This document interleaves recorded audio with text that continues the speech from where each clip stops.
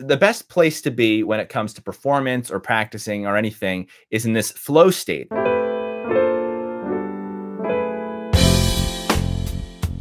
Which is where you're uh, in the zone. People refer to it sometimes as being in the zone. This is uh, the concept of flow, which is a psychological term coined by um, this guy who has a very complex looking name.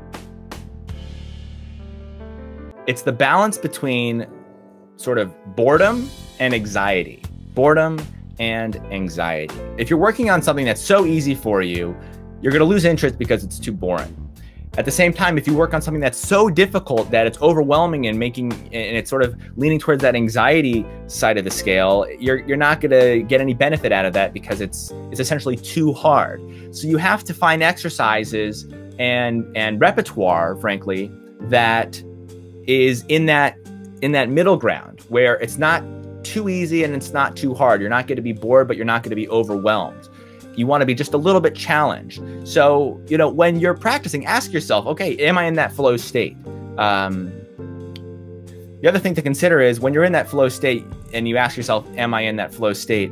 This is a little bit esoteric, but as soon as you ask the question, you're, you might snap yourself out of the flow state, which is a whole another conversation. But that's essentially like, you know, if you're in the zone, right? And then you start thinking too much, you get in your head, then you're not in the zone anymore think about the flow state in terms of practicing more along those lines of finding the right things to practice and the right exercises that are going to put you in uh, in that place of actually improving where it's it's interesting to practice but it's not overwhelming